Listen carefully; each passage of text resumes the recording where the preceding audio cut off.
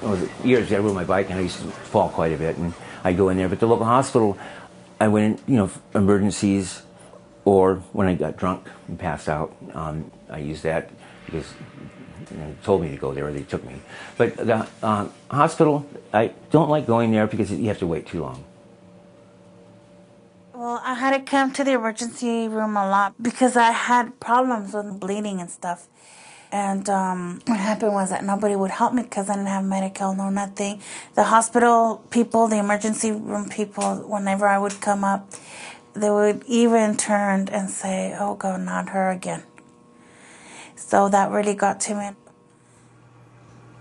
I was going to the emergency room at least every two to four months for my back or an ailment or whatever happened.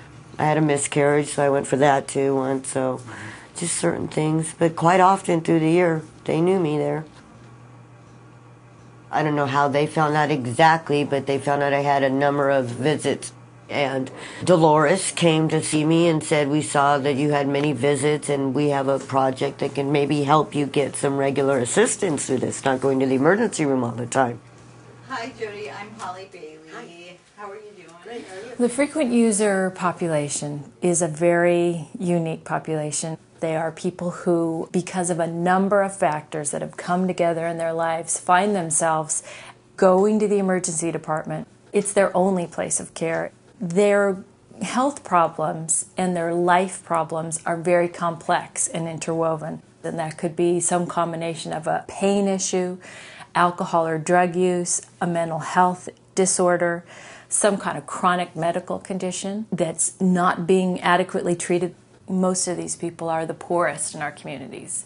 About half of the people that we have worked with are either homeless at the time where they're enrolled in the project or the housing issue rears its head even after we're enrolling them. That's really the profile.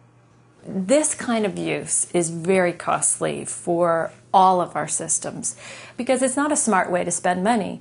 An emergency department is not prepared to help somebody with a substance abuse issue, with homelessness, even with a chronic medical condition. That feeds the system of the individual having to go back for care because they don't get their care needs resolved. So, what we have to do is reintegrate the systems for this population. What I always tell people is that you have to be part dog and part detective to work here sometimes. We get the referral from the hospitals, and usually they come with some type of address and a phone number, which usually is disconnected. If someone is homeless and we're looking for them, I try to find out what part of the county do they hang out. Like Jody, for instance. In the beginning, we kind of had to chase her. And I think when she started to really see that at Project Connect, we were paying really close attention to her depression, to her back pain. That made a difference for her that we were listening to her. We weren't saying, oh, you just, you know, want some more dope, you just want some more meds. I'm an addict. Before I came here, I was homeless. I lived in my little Ford Tempo. I didn't care back then. I was depressed. I have sciatic nerve problems. I have problems with walking, bending. Going to the emergency room tended to be humiliating for me. A lot of the times they would put me back because they knew I was homeless. They didn't know if there was really a reason why I was there. Was it just to get off the streets for that day? I knew about SSI, but I never thought I could actually fulfill the need of getting it. The people at Project Connect set me up with a physician that I get along great with. So it's all basically a big circle of all these people working together that has helped me out. I, I take the sleeping bag right here, and I have my backpack, and uh, I take a sleeping bag, roll it out, climb in there, and have my little radio, and uh, my medications and, and stuff, and that was that was about it in my, my backpack. Thomas was originally referred to me from Dominican's emergency room as a frequent user. Normally, Thomas was on the street. Many times he was so inebriated he couldn't stand up.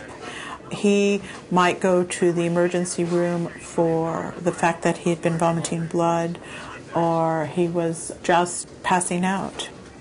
Many times he would be dehydrated, many times he would be anemic and many times that anemia was from the fact that he had gastric ulcers and was bleeding.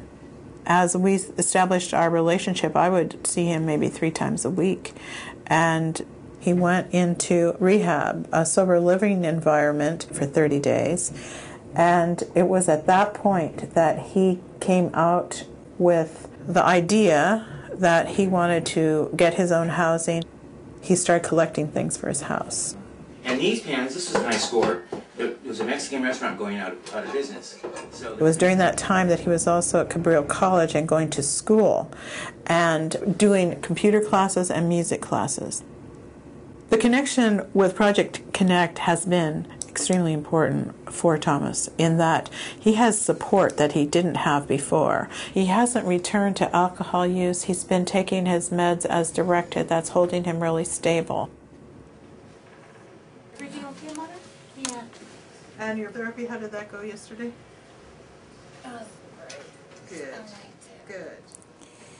I met Project Connect when Dolores walked into my door at my house. Actually, I thought it was, you know, a person asking for the money that I owe the hospital. She's like, no, we are a new project out in town, and we were wondering why were you in the hospital so much? Mara is a young Latina woman that is a frequent user for dysfunctional uterine bleeding. She also has a problem with morbid obesity, so it was difficult for the staff to deal with her in the beds and to turn her and to be able to care for her. And she didn't like going there. As we started to see Mara more frequently, it became very clear that she had multi system problems. We're trying to keep her active. She was using the emergency room very frequently. My guess is that if not once a month for a while, it was a cluster of visits in a month. Since working with Project Connect, I think she's decreased her visits certainly by 80%. I think both emergency rooms in the county have seen a dramatic decline in the frequency of visits for this very well known small group of patients. There are benefits from that, which include better ongoing care for the patient themselves, as well as more cost effective care. And I think patient satisfaction of the patients that are here is far higher than if the emergency room is crowded and overwhelmed. Before Project Connect, our only options were referring patients to the county clinics. And so it's frustrating for us when we referred people there, they either didn't go there because it was too much of a hassle, or they were not eligible. So we would see these patients bounce back to the emergency room on a very frequent basis. When we take our results to public officials and we show them what kind of results we're having, people are very enthusiastic and very positive all over the country. There has been a lot of interest. I get calls every single month, people asking, Can you talk about your project, how it got started? What have you learned? What would you share with another project that's trying to do this? Is it realistic to think that people can make permanent changes in their life? Absolutely. And we've seen that. I'll be honest with you, people. This thing has saved my life. Not just having a house. I'm starting to get myself back. I would do anything in my power right now not to lose what I have and what I've gained because I've worked so hard to get it. Today, it's like I have goals. I'd like to go back to school and getting this depression contained. I think something like that could be possible. So, yeah, there is definitely a future coming up now.